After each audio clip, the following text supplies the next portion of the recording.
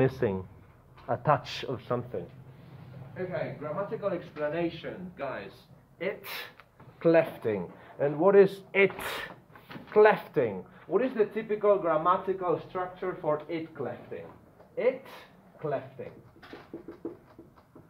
So typical C1 structure. What is the typical structure in terms of grammar? In terms of grammar, this is the formula. It. After it, the verb to be in the present simple. Could be is, or it could be also in the past was. Is or was. That is the second part. And then after that, the focus of attention. Focus, focus of attention. What was the focus of attention in the in the previous sentence? The one I wrote before. Myself. So in the previous example, it was myself, but it could be any other thing. Yeah?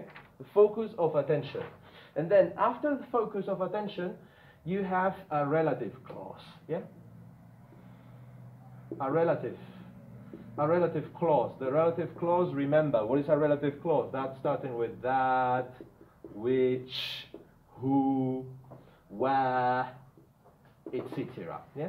A relative clause. A defining relative clause giving essential information. Yes? Relative clause. So this is the grammatical formula. Yeah? This is the grammatical formula. It verb to be. Focus of attention, relative clause. So far, so good? And what is the purpose? I already told you what the purpose. What the purpose is to emphasize a part of a sentence. Yep. Emphasize a part of a sentence. To emphasize a part of a sentence. In the example I gave you before, the emphasis was on myself. Could be any other thing. Okay, this is the introduction to the explanation. Whenever you give me green light, I will proceed and uh, erase this precious information. Green light?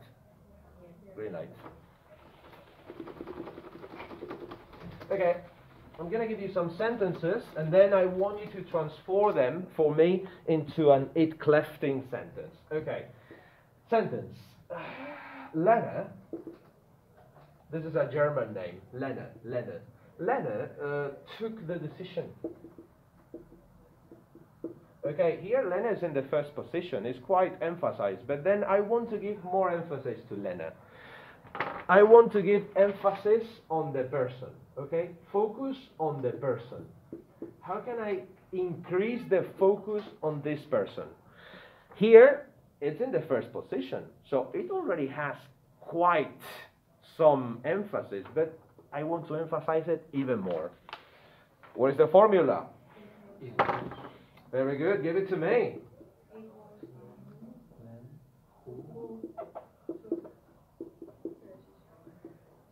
It was Lena who took the decision. Again, have a look. This is the formula. It. Then the verb to be. Then what is this? The focus of attention. And what is this? A relative clause. And uh, the focus of attention in this example is a person. Hmm? A person. This is one of the type of it clefting. One of the types. May I erase this? Okay, give me another one. I'm to give you another sentence, another example. Oh, she told him on Monday. She told him on Monday. Okay. Now, what I want to emphasize is uh, on Monday. What is on Monday? Time. Let's emphasize time. Okay, the first element is always it. Yeah? What is the second element? The verb to be. In this case, it's in the past because of Tulsa. It was. Now, the element of focus is the time. We want to emphasize the time. The element of focus? It was on Monday. And now, what do we need? The relative. The relative clause. When. Very good. Very good. When is a possible relative pronoun. I would also accept that. Okay? and then the rest. She told him. Again, it, first element, was the verb to be. On Monday, this is the element of focus. And what is the element of focus this time? Time. And then the relative, the relative clause. So we can use time as an element of focus. It was on Monday, it was on Tuesday, it was in 2020, it was yesterday, it was last week. Yeah? May I erase this? Time.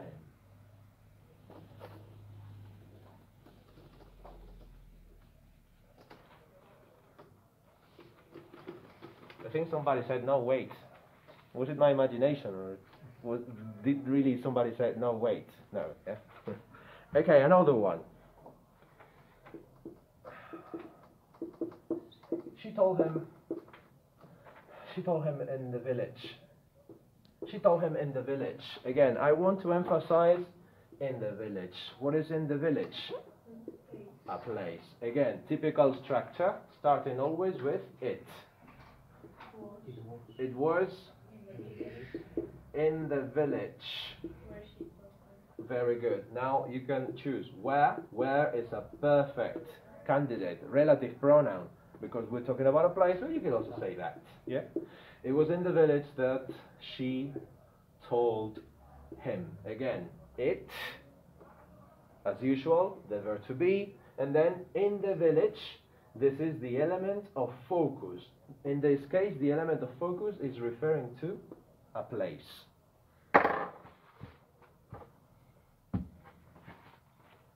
I don't even ask you, you know, I just, I just erase it.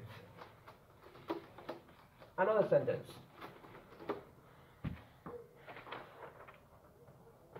Okay, he was affected. You know, the sentences that the examples that come to my mind, they say that the examples that you write are a reflection of your personality somehow. These are the examples that come to my mind. He was affected. he was affected uh, because of the way, because of the way she told him. He's a very sensitive guy, you know. He was affected because of the way she told him. Okay, now what I want to emphasize in the it clef sentence is a thing or idea. The way she told him, okay, this is an idea, yeah, this is an idea, a thing, yeah, a manner, yeah, an idea, a thing, a manner. In this case, is the manner, yeah, the way. I want to emphasize this, yeah. How would the it sentence would be? It was. It was the way she told him. Yeah, it was the way she told him. It was the way she told him. It was the way she told him. And then the relative clause. That. That he was affected. Sounds a bit weird. Yeah. That affected him. Yeah. In this case, I would say affected him. Yeah. And it could be, it was because of the way she told him that was that is totally acceptable. That is the, the next type I'm gonna explain. But yeah, it was it was because of because of the way she told him, and then and then yeah, then it would make sense the the other um, relative sentence that you told me that He was affected. Do you see the difference? Affected. Here, the relative sentence, you can say that he was affected. You have the subject and then the verb. Yeah? That he was affected. So, in this one, what do we have? It. Then the verb to be. Was. Then the element of focus. The way she told him. This is the element of focus here. Yeah? The element of focus. What is the element of focus in this sentence? An idea, a thing, a manner. And then that affected him. The relative, uh, the relative clause.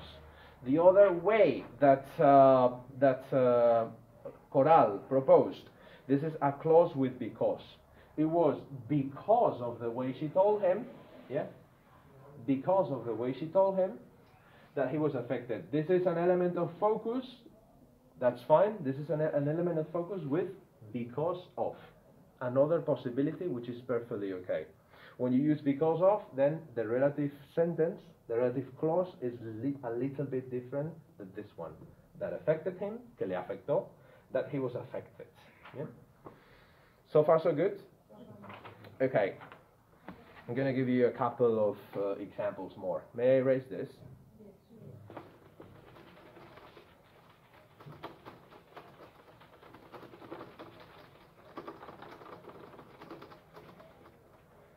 Okay. A clause with to plus infinitive. Have a look at this. She told him the news in order to move on.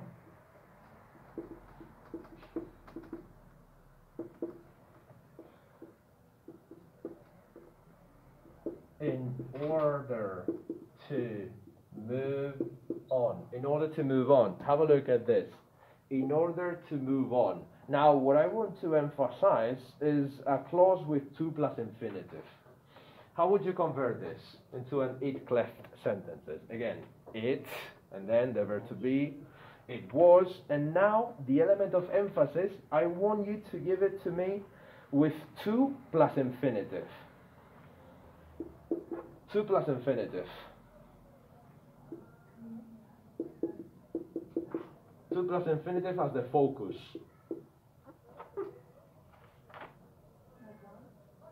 Say it, say it. Say the full sentence, please. To move on. This is the element of focus expressed with to plus infinitive. Yeah? It was to move on. And then the relative pronoun. Finish the sentence, please, Steph. Uh, it was to move on that uh, she told him the news. Very good.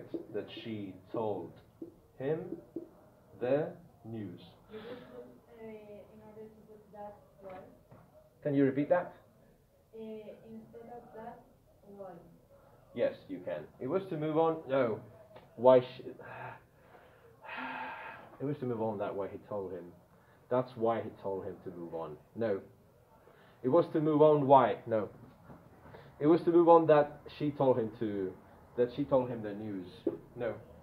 Why did she tell him? He. She told him because. No.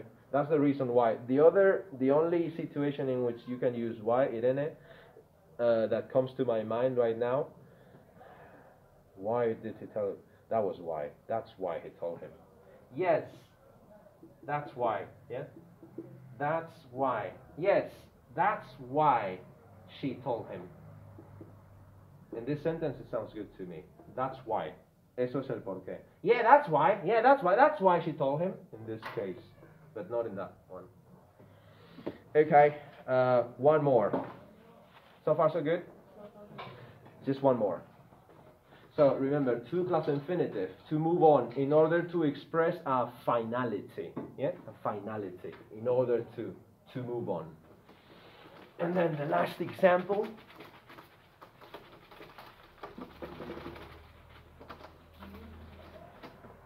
The last example. Let me give you the first sentence. He didn't realize about the truth until later.